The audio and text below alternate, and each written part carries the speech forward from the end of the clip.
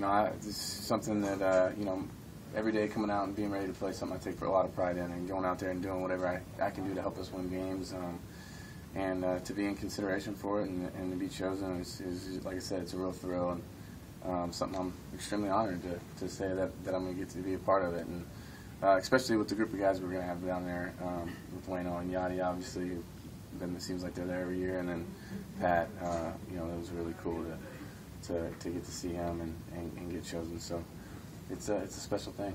So Last- you need to go at a new position at that third. I mean, now you've been at two different positions. Is that an element of this? Yeah, I, I- I think that's something that, um, you know, like I said, I'm, I'm proud of. Just, uh, you know, I like being known as just a baseball player, a guy who can do, uh, you know, a, s- a few things around the diamond and play wherever, uh, wherever I'm needed. And, um, you know, it's, it's cool. It's cool to be able to, to say you did it above.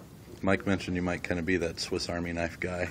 Uh, are you going to try and get some reps in, do some some practice at some other spots here? before- I mean, that's what I figured. Uh, you know, you look at the way the roster is um, kind of shaping up, and you know, I'm a guy that can kind of fill in wherever wherever's needed. If you know you need anything in the outfield or second or third or first, wherever, um, you know, I'll be ready to go. So, um, looking forward to it. Should be fun. Last year was such a, a long year for you because of the off season and then all this.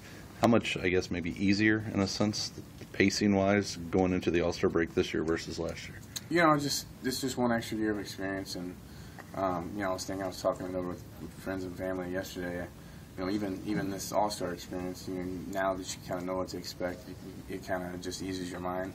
Same with the season. Um, you know, there's not near as much um, unknown. You just kind of understand how this thing plays out. It's a long season. Here we are, almost at the break, and now that I've done this and, and know what it takes, you know, you kind of learn how to manage your body and leave something left in the tank. I think last year I really kind of jumped the gun and kind of left it all on the field. And then towards the end of the year, I was struggling um, physically and mentally.